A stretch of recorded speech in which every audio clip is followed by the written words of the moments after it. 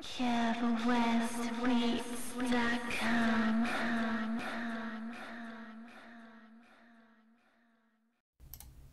Hey guys, Kev here. Today we are going to be talking about the FXpansion DCAM Synth Squad. Uh, what I'm going to be doing here, because this video is going to be a little long, is I'm going to dive straight into the presets of the four guys here. Um, you see the four synths we have here, Amber, Cypher, Fuser, and Strobe. Um, of these guys, I usually um, go through Strobe. That's probably the one of these guys I use the most. Um, but again, I do use these guys all mostly for presets. So I'm going to go through some presets here, let you guys hear what kind of sounds we have going on here, because I do think there are some great, great sounds in these guys. And I do think FXpansion did a great job here with um, this group of synthesizers. And I do feel that they retain their value, even though these guys are years old. Um, they're $250 for the bundle, again, four synthesizers. And let's get through some of these sounds. I'm going to go through Amber first. I'm to go through the factory sounds. Check out some bass. I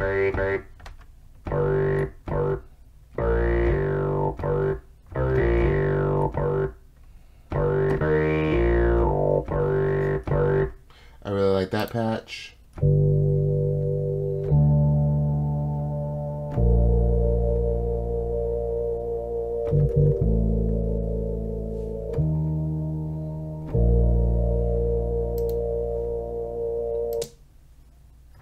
Let's check this one out.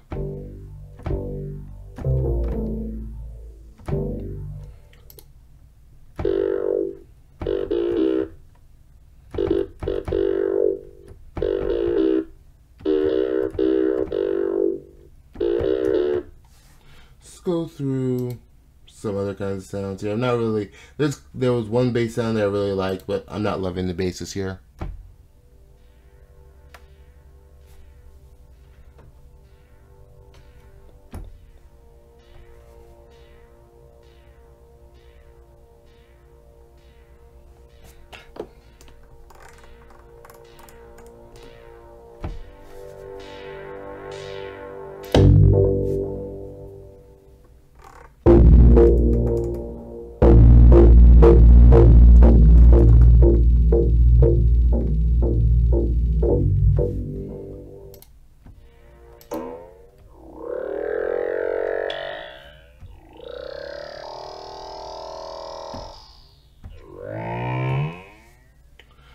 Chord sounds are okay. Let's go to the drums. See just a clap here.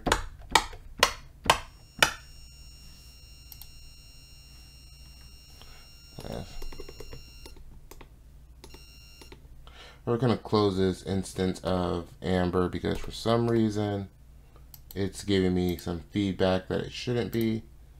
Let's open a new instance. That was kind of strange. Let's go back and let's go through some leads this time. Let's just go some keys this time. I'm gonna open a milk.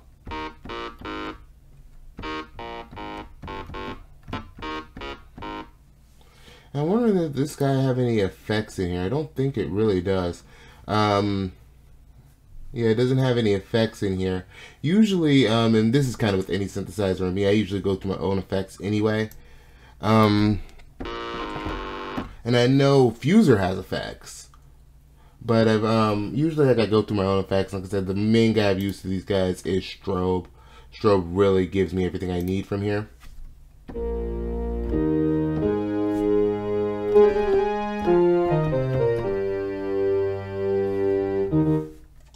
Um, let's try some of these lead sounds.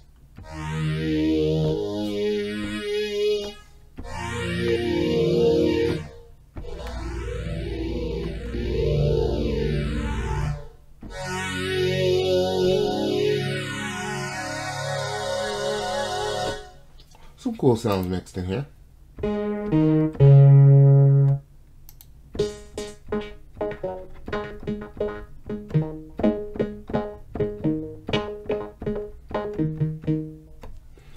think if you put some cool reverb on this glitch chord sound, actually would sound great.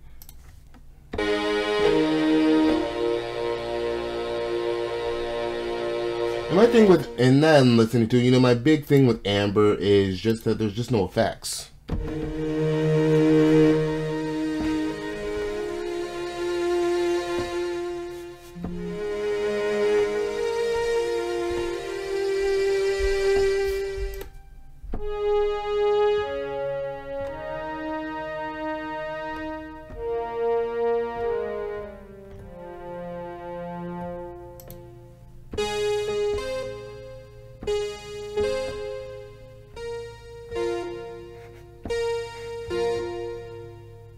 Some of these Juno strings.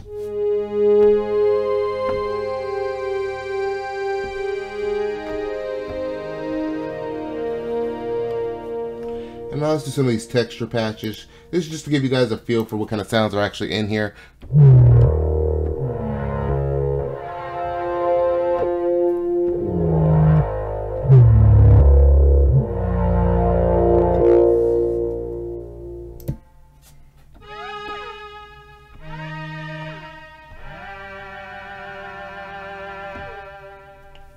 Really cool sounds in here.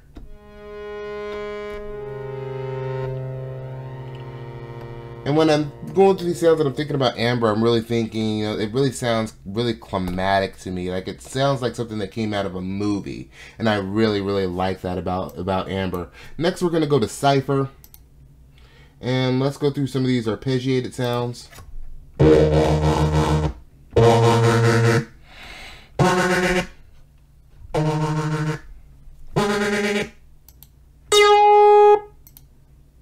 Let's go through some more arpeggiator.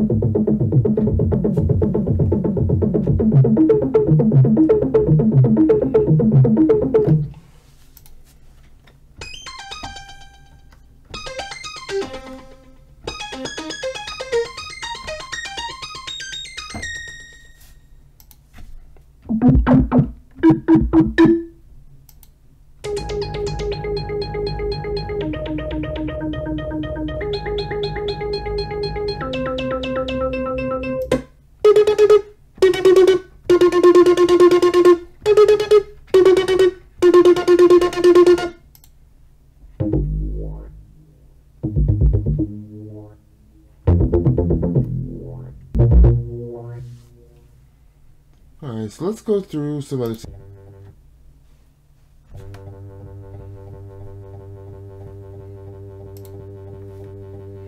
Let's see, can I find a master volume on this guy? Because this guy is quiet.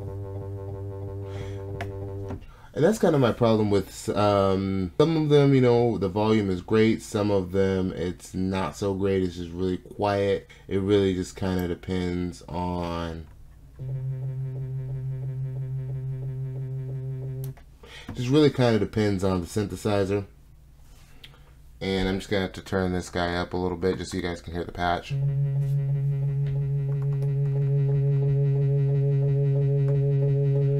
See, and on this particular patch, I have my everything on max volume and you still, I can barely hear it. So let's go through this guy.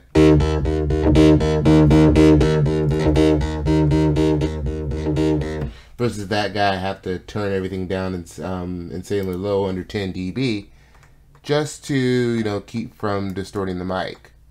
So that's one thing I don't like about these guys.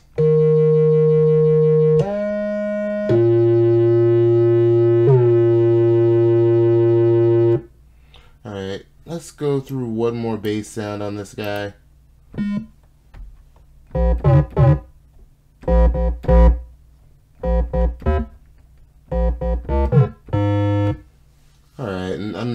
That bass sound either. Let's go through, see what kind of drums they have here. We have a lot of drums here. Really like that clap.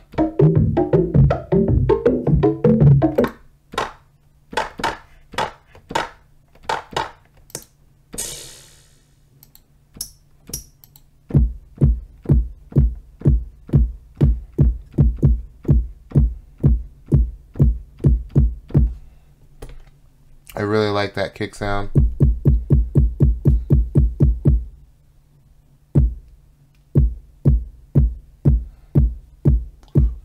Kick right there. A pair of really nice kicks right there. Uh, see, what, what about their snares? Great snare sounds. It's great synthesizer for electronic and dance music. Let's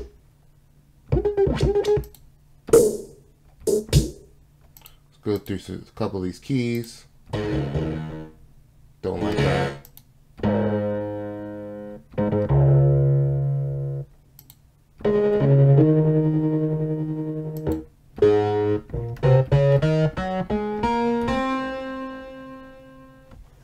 Not a big fan of these keys.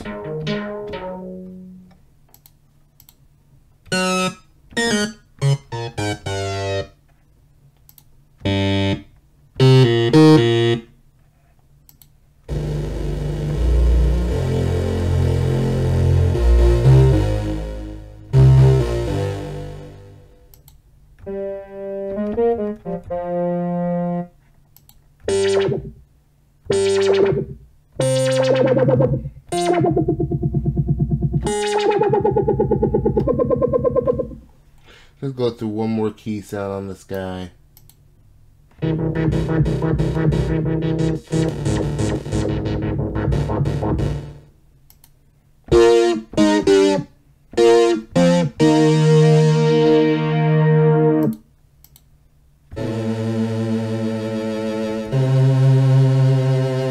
not into that pad sound.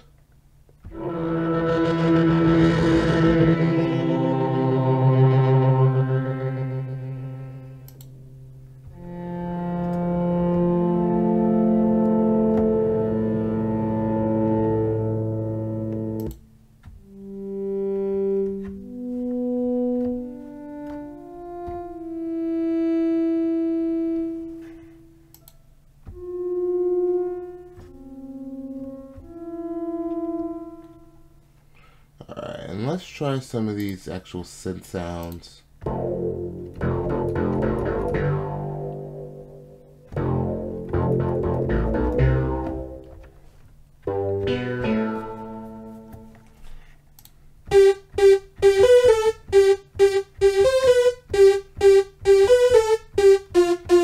I like that 80s pop, pop um, polysynth sound. That's a great sound and it's right on point.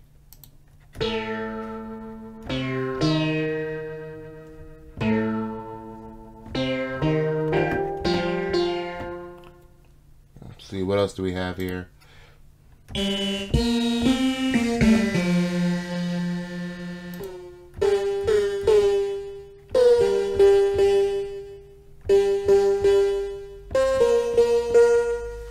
Alright, let's go to, I'm going to go to Fuser now. Let's see. And Fuser is really cool because it mixes and matches effects. I'm going to jump out of the browser for a second. And it actually allows you to add and do a lot of different things with effects, which I really like. It's not your traditional standard synthesizer. You see here you have the various synthesizers in here and you can combine them but it's not really a synthesizer by itself but um, kind of reminds me like the combinator in Reason a little bit uh, that's probably the best um, comparison I can think of to make with this guy uh, let's go through some of these sounds in Fuser and it also combines the sounds from all of the devices if you wanted to so we're going to go through just a couple of these just so you can see what I mean. But there's really not a lot going on in Fuser. Now if we load this sound, we go to synth 1, you see it's strobe. And then you can actually select another synth.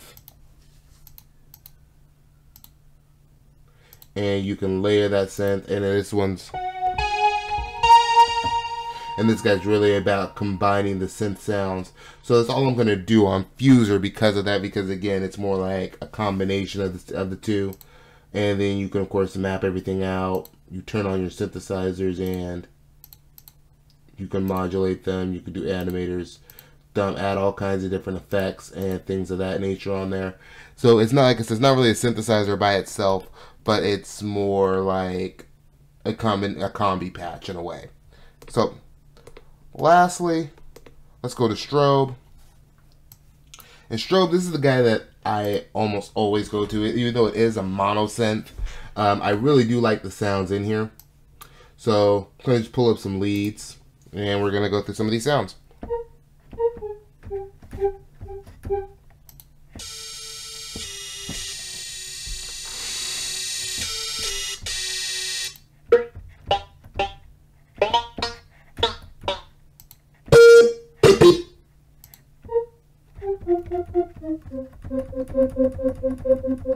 And again, the volume issue with these sounds, this isn't my recording, this is just the sounds. Some of these sounds are really quiet and some of them are perfect level. So it's always hit or miss and I don't remember seeing a master volume anywhere on any of these guys, which was, like I said, a little disappointing because that means you have to really control the volume for this guy in your DAW. But I'd really like to have something that's a line level and then I can just turn it down as I want to. That's, to me, that's a better way to work rather than having, okay, this is just what the synth is outputting and I'm going to fix it in the DAW later or even record to audio and normalize it's a workflow thing for me. It doesn't necessarily make the synth bad. It just, like I said, it's a workflow thing for me. Let's go to some of these other sounds.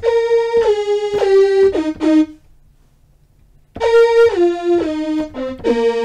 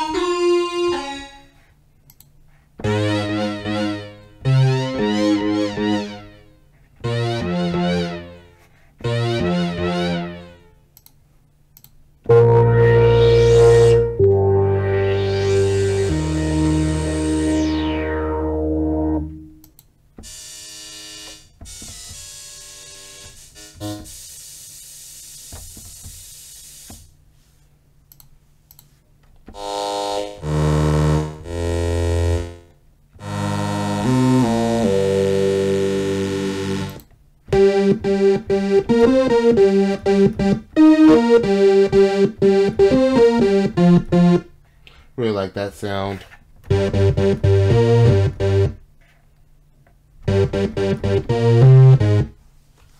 lot of very vintage sounding sounds in here. Let's go through these chords.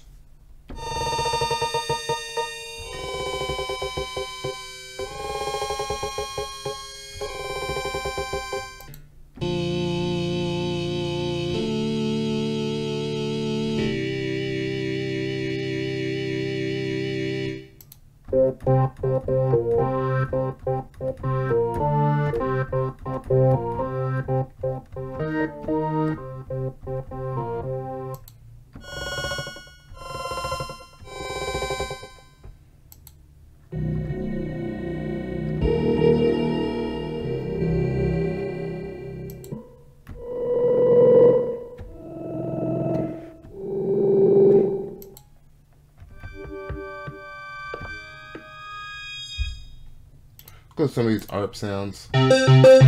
And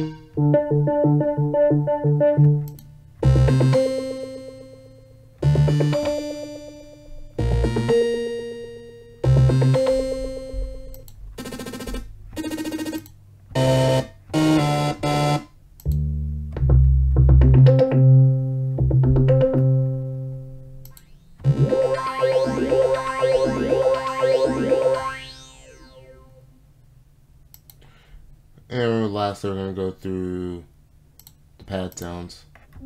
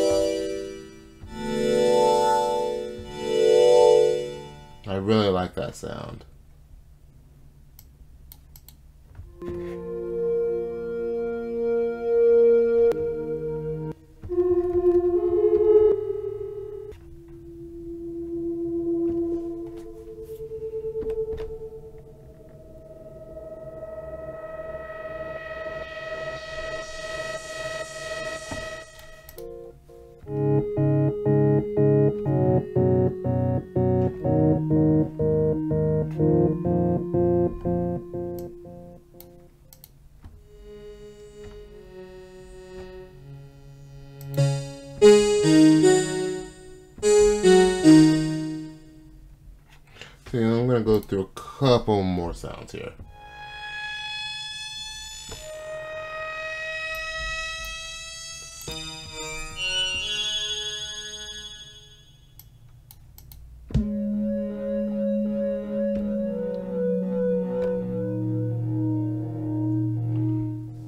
Alright, so now for my final verdict. I feel the presets in the FXpansion um, Synth Squad are very hit or miss. I don't like that it also doesn't have a volume knob. Um, a master volume now just so I can adjust the volume from the synthesizer actually coming into my DAW. Now, yeah, it's no big deal. You know, I can always put like a maximizer or something on it or even a compressor if I wanted to and just crank out the output volume. But why do all that just to get it to line level? Like, that's kind of a big deal. The sounds, there's a lot of really good ones there, and there's a lot of not so good ones there. This guy doesn't have effects on it, or none of these guys have effects on them, I should say. Um, but it is a fairly old synthesizer, bundle too. And um, in its day, it was a real CPU beast, and that's why I think they didn't add the effects on there because it helps actually bring down some of that CPU load. A lot of professional producers use this guy, and I don't think it's a horrible synthesizer, especially if you want to make sounds on it. If you want to make your own patches, I think that you have everything here, especially on Strobe. Strobe is my favorite of the devices, which I mentioned before. However, I do feel that um, an update would be great to some of the sound patches just to give it a little more of a modern flavor, a little bit of a modern feel. I also would love to see an updated, the modules updated since now the com computers can clearly handle what's there with effects on board. I'd also like to see again the um, volume thing, which I know I keep bringing up, just to be a little more streamlined, um, just so I don't have to process it um, before mixing in a song. Um, the sounds, like I said, for hit or miss. And other than that, though, I do think these guys are a good bundle. Do I think it's worth $250 right now? That I don't know. Um, these guys do go on sale um, a few times a year, usually for 99 bucks. For 99 bucks, I think these guys are still for $250. Uh, I wouldn't jump at it. I think it, when you hit the $200 range, there are better synths in that price range. So anyway, that's my thoughts on these guys. I give them a 6 out of 10. Not bad, not bad synths at all. Um, but I do think their age is showing and they're pretty long in tooth. And if they got an update, I think these guys could possibly be the best synth bundle on the market, especially if you keep it in that $200 price range. So anyway, let me know what you guys think in the comments. Of course, please rate, comment, and subscribe. Share this video. It does help me out a lot. I will see you guys next time. Check out KevWestBeats.com, and thanks for watching.